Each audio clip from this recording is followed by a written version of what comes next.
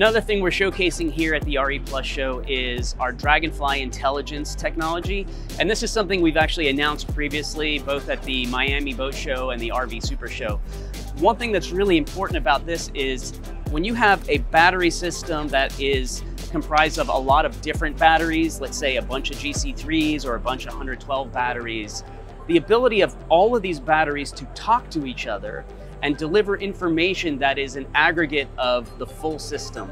That's what Dragonfly Intelligence allows you to do. So we can take that information, look at the, the health, the balance of each one of these components, and then put it into an aggregated form into a hub that can then deliver that information by CAN bus or to a router so you can access it remotely, uh, or to your inverter like uh, the Victron system through the VE bus system. We can also deliver it via Bluetooth to an app.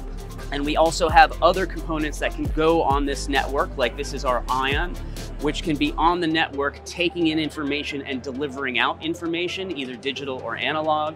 You can use the energy system to really automate and drive different components like let's say a water sensor on a boat.